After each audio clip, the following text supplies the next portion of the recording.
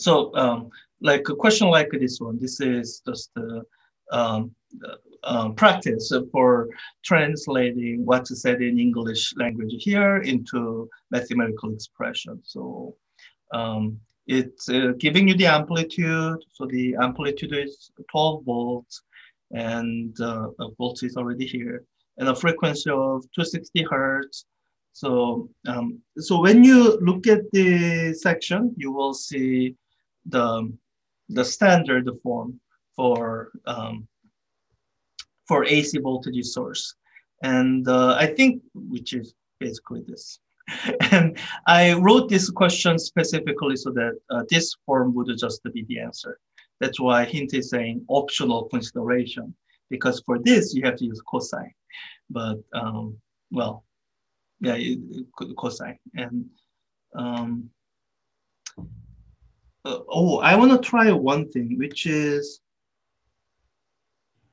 yeah, so, um, so the uh, what it, it should accept as a correct answer is 12 sine of, um, so this should be 2 pi times the frequency 260 hertz times t, um, yeah, t for time in seconds. One thing I'm curious is if it would accept this as correct answer, because it's technically, I think it satisfies everything. Uh, mm, yeah, I, I should have fixed that. I'll, I'll fix that because uh, I think this with the minus sign, it uh, yeah satisfies everything. Amplitude 12 volts, frequency of that, and that time equals zero. You know, negative of zero is still zero. So uh, so I'll, I'll uh, go in and fix that after the session. so um, uh, questions two and three are, um, it's more or less a reading question for this, which is your textbook gives you the uh, expression for the impedance of capacitor and inductor. So I'm going to use absolute value sign because I use complex impedance and with the absolute value sign, both the textbook and I would give you the same expression.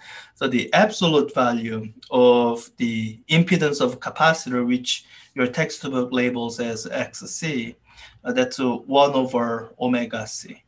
And um, for question three, the absolute value of impedance of inductor, which your textbook will label as XL, it's uh, gonna be omega L. And the only thing to really watch out for is uh, distinguishing between angular frequency and frequency. So um, a lot of the formulas dealing with oscillatory phenomena are stated in terms of angular frequency because it makes formulas simpler. You avoid writing down unnecessary two pi's. But uh, we like to refer to frequency, um, refer to actual um, how quickly something is oscillating in terms of the frequency. And so you have to always remember that omega is 2 pi times the frequency. And this 2 pi is basically converting from hertz or cycles per second to um, to omega, which will be which should be in units of radians per second. So um, so just watch out for that. Um, and with that, uh, this should be relatively simple um, number plugging in question for um, two and three. Um, it's a, so yeah, reactance of inductor. So to watch out for the prefixes and all that usual stuff.